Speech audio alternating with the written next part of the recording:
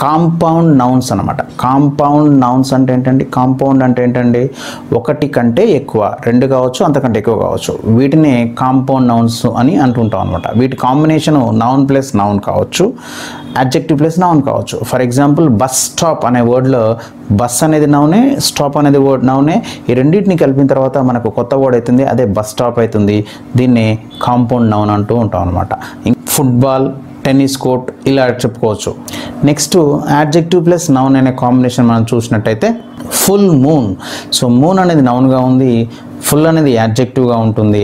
అంటే మూన్ను క్వాలిఫై చేస్తుంది కాబట్టి ఇది ఫుల్ మూన్ అనే కొత్త బోర్డు ఏర్పడింది. దీన్నే మనం కాంపౌండ్ నౌన్ అంటుంటాం అనమాట అదేవిధంగా బ్లాక్ బోర్డ్ సాఫ్ట్వేర్ ఇలాంటి వర్డ్స్ మనకు కనపడుతుంటాం అనమాట మరి కాంపౌండ్ నౌన్స్ అనేవి మనం ఒక మూడు కేటగిరీగా విభజించడం జరిగింది. మరి మొదటిది open or spaced compound nouns అని అంటూ ఉంటాము. అంటే ఏంటండి?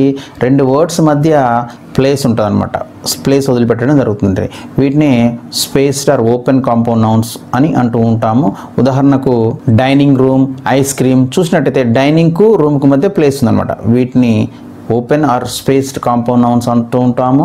ఇక రెండవది హైఫనేటెడ్ కాంపౌండ్ నౌన్స్ అంటూ ఉంటాం అనమాట అంటే ఒక హైఫన్ చిన్న హైఫన్ ఉంటుంది ఈ రెండిటి వర్డ్స్ మధ్య.